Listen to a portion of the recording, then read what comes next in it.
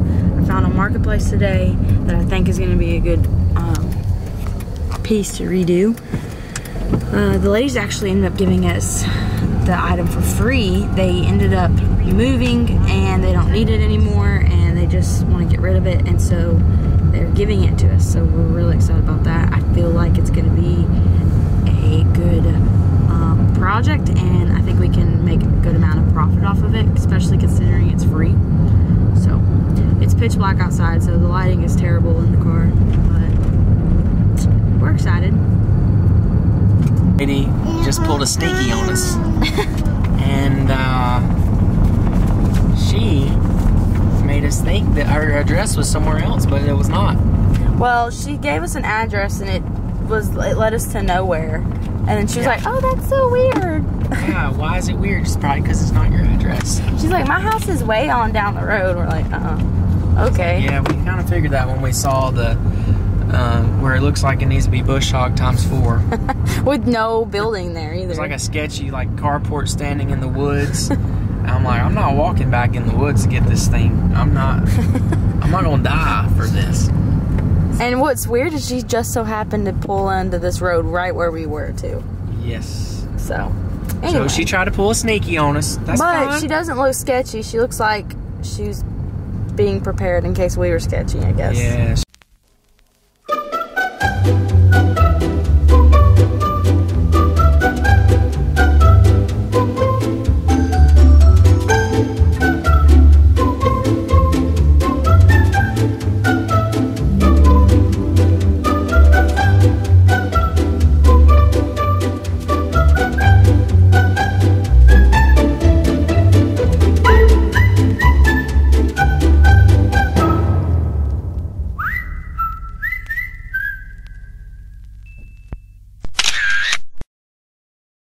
Okay, the TV stand is sold. They're coming to pick it up now.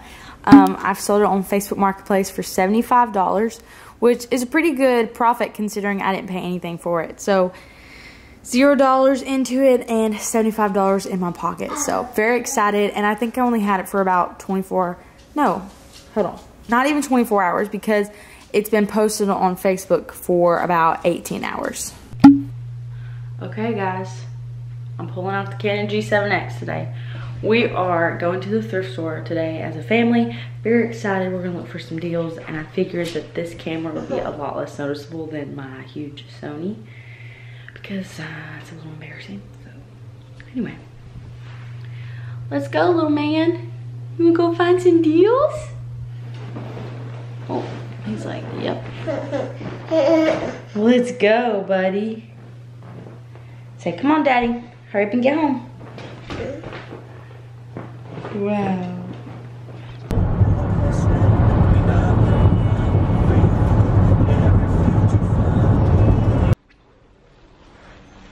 This thrift store experience has not been great. I've not found anything.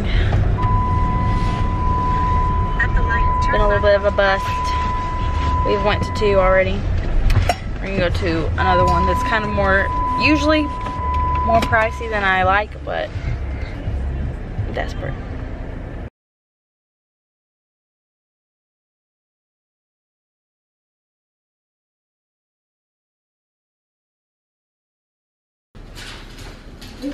Lucy, come here.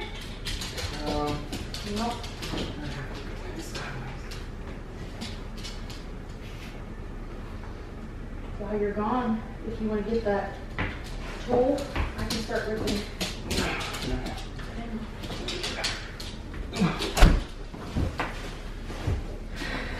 What will we call it? Together. Okay. So we got her in the house. Lucy's checking her out, but we're gonna rip the skirts, the grandma skirts off the bottom to make them look a little bit more presentable. And then we're gonna stage this bad boy. I really wish it was daylight outside so I could take pictures with natural light. I might do that. I don't know. I really want to get it listed, so we'll see.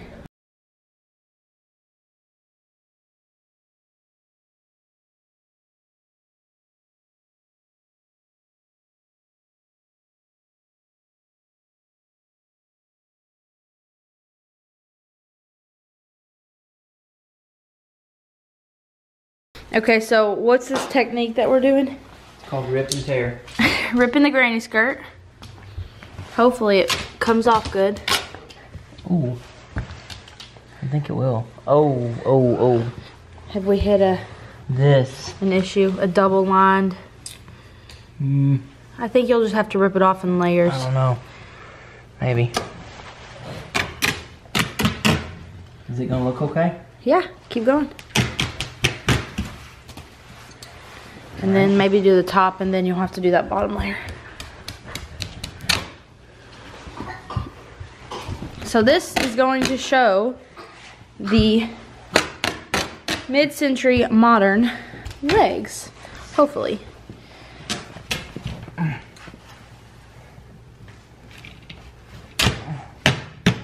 Wow. It's pretty easy.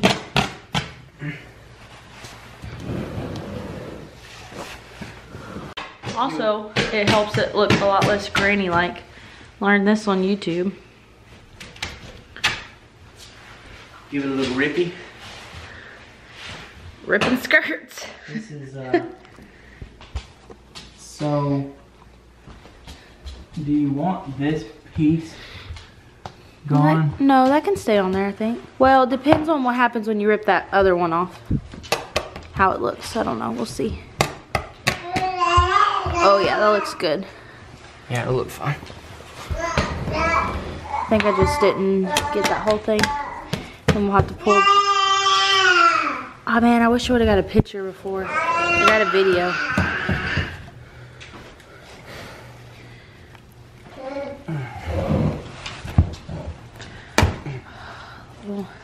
This better? already looks so much better. Yes.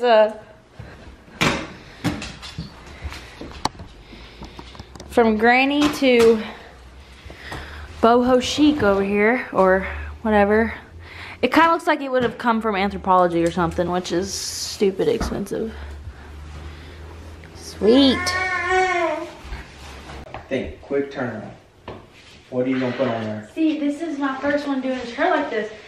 I mean, realistically, compared to what I was watching, I think go quickly for 150. But because I've never done it, I don't know what to expect.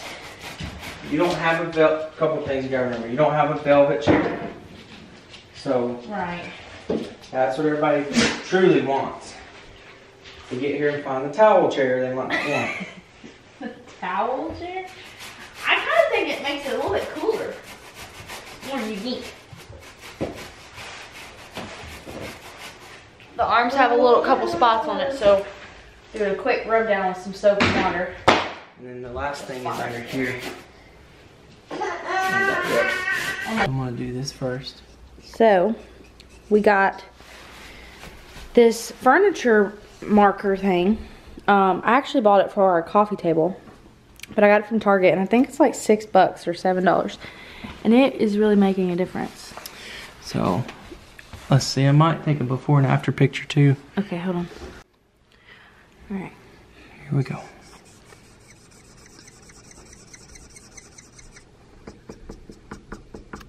Wow, you're straight up coloring it. Yeah. I think it's better that way. Yeah, it looks. So, it already looks so much better.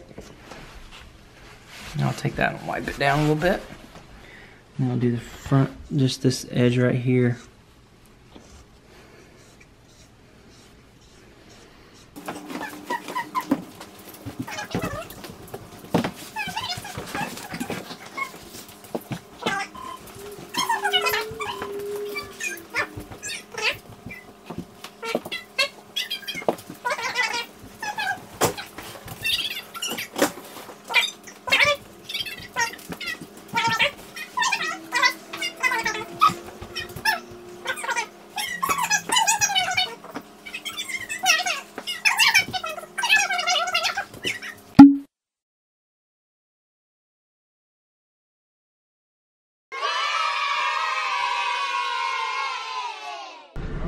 That's good. Did it work? Did it go through? Yeah, it works. You need, I can carry knock over. Your liability's done.